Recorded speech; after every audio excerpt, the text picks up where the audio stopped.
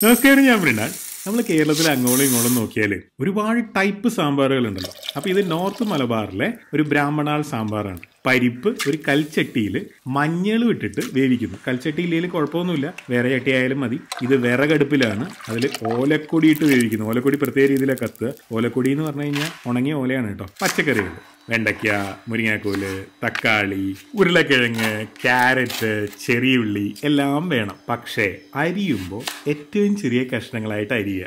കാരണം വലിയ കഷ്ണങ്ങളായാൽ നമുക്ക് വിളമ്പുന്ന സാമ്പാറിൽ ചിലപ്പോൾ ഒന്നോ രണ്ടോ പച്ചക്കറിയുടെ കഷ്ണങ്ങളേ ഉണ്ടാവുള്ളൂ. അപ്പം നമുക്ക് കിട്ടുന്ന സാമ്പാറിന് ആ പച്ചക്കറിയുടെ ഒരു ഡോമിനേറ്റിംഗ് ഫ്ലേവർ ഉണ്ടാവും. ചിലപ്പോൾ തക്കാളിയും വെണ്ടക്കയും മാത്രമാണ് നമുക്ക് വിളമ്പിയെന്ന് വിചാരിക്കുക. ഒന്നോ രണ്ടോ കയ്യിലല്ലേ വിളമ്പുള്ളൂ. അപ്പോൾ അതിനകത്ത് വലിയ കഷ്ണമായ ചിലപ്പോൾ ഒന്നോ രണ്ടോ കഷ്ണേ കുടുങ്ങുള്ളൂ. അപ്പം നമുക്ക് കിട്ടിയത് ഒരു തക്കാളി സാമ്പാർ പോലെ ഇരിക്കും. അങ്ങനെ ആയാൽ പറ്റില്ലല്ലോ. എല്ലാത്തിന്റെയും ചെറിയ ചെറിയ കഷ്ണങ്ങളാകുമ്പോൾ നമുക്കത് ശരിക്കും ആസ്വദിക്കാൻ പറ്റും.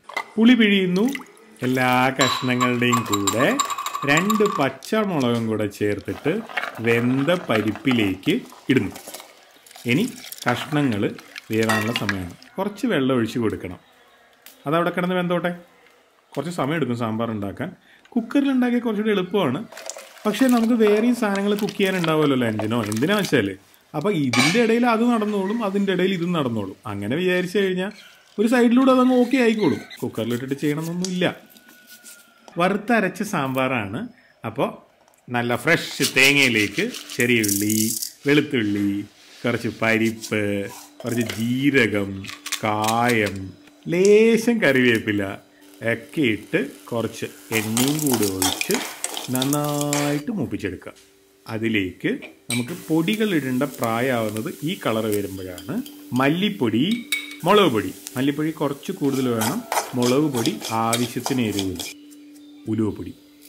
നന്നായിട്ട് മൂത്ത് വന്നു ഇടയിൽ സാമ്പാർ പോയി നോക്കാൻ മറക്കരുത്. അടിയിൽ പിടിച്ചു പോകും കേട്ടോ. സാമ്പാറിന്റെ കഷ്ണങ്ങളിൽ കൂടുതൽ വേവുള്ള ക്യാരറ്റ് ക്യാരറ്റ് ഉരുളക്കിഴങ്ങൊക്കെയാണ് ആദ്യം ഇട്ടത്. ബാക്കി ഇതാ ഇപ്പ് ഇട്ടു. നമ്മൾ ഉപ്പിട്ടു. പുളി പിഴിഞ്ഞൊഴിച്ചു. ഒന്ന് ടേസ്റ്റ് ചെയ്ത് നോക്കണം. ഉപ്പും പുളിയും ഓക്കെ ആണോ എന്ന്. ഇത് കുറച്ചുകൂടെ വറ്റും. അപ്പോൾ അത് മനസ്സിൽ വെച്ചിട്ട് വേണം ടേസ്റ്റ് ചെയ്ത് നോക്കാൻ. ഇനി നമ്മൾ അരച്ചെടുക്കുക. അരപ്പ് ഇതുപോലെ ഇരിക്കണം ഒരുപാട് ക്രഷ് ചെയ്ത പോലെ ആവരുത്. അപ്പോൾ അത് കംപ്ലീറ്റ് കടിക്കും സാമ്പാറിൽ നമ്മൾ വെന്ത് പാകമായോ എന്ന് നോക്കി അരപ്പ് ചേർക്കുക അപ്പോൾ അരപ്പും ഒന്ന് വേവണം കിടന്ന് തിളച്ച് വേവണം. അപ്പോൾ ആ പാകത്തിൽ കഷ്ടങ്ങൾ ഉണ്ടാകുമ്പോഴാണ് ഇത് ഒഴിക്കുന്നത്.